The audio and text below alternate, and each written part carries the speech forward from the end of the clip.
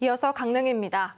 상조 인구가 급속히 줄고 있는 태백시는 민간 병의원이나 약국이 없는 지역이 갈수록 늘고 있습니다.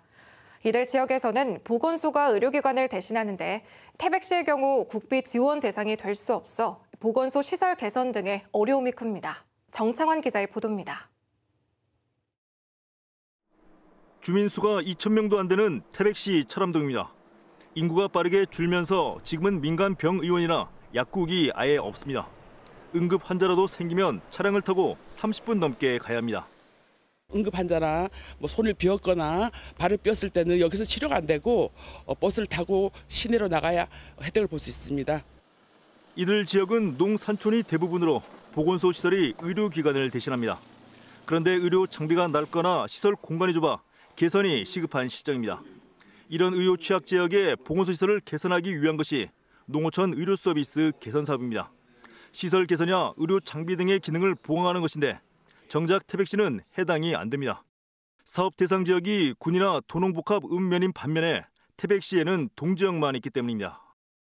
태백시는 폐광 지역이나 인구 감소 위기 지역의 경우 동지역에도 지원이 가능하도록 법 개정을 추진하고 있지만 여의치가 않습니다. 이 때문에 태백시는 안정적인 국비를 확보하지 못해 임시 방편으로 특별 교부서나 공모 사업 등에 의존하고 있습니다. 계속 좀 시설 개선 보강이 돼야 되잖아요. 그런 예산을 이제 국비를 전받지 못하니까 뭐꼭 필요하면은 뭐 시비로 다 해야 되는 상황이니까 그 재정 부담이 좀 큰 거죠. 시 입장에서 보면. 탄광 폐광 이후 지역 경제가 황폐화된 태백시는 더 많은 지원이 절실한 상황이지만 동 지역밖에 없다는 이유로 각종 정부 지원에서 제외되는 불이익을 받고 있습니다. KBS 뉴스 정청원입니다. 강원도는 올해부터 4년 동안 한국수산자원공단과 협력해 명태 수산종자 방류 효과를 조사하기로 했습니다. 이 사업을 통해 명태 방류 사업이 실제 어족 자원 증가로 이어지는지를 검증할 예정입니다.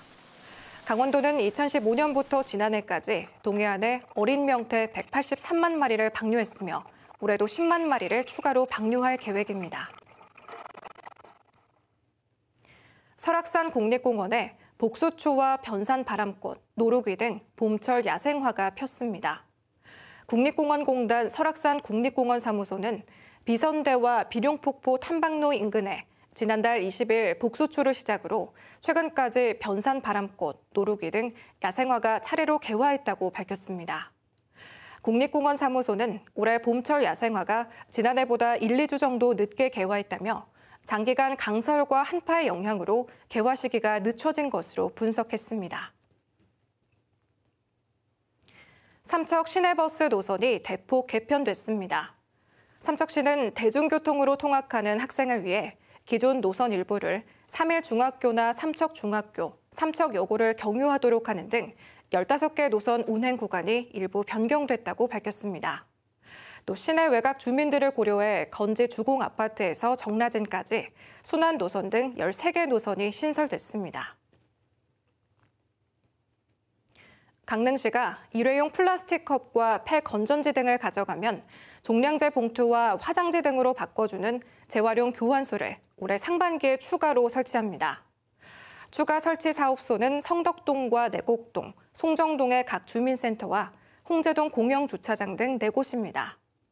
지난해 강릉시는 기존에 설치된 재활용 교환소 두 곳에서 재활용품 44만 개, 11만 900여 킬로그램을 수거했습니다. 지금까지 강릉이었습니다.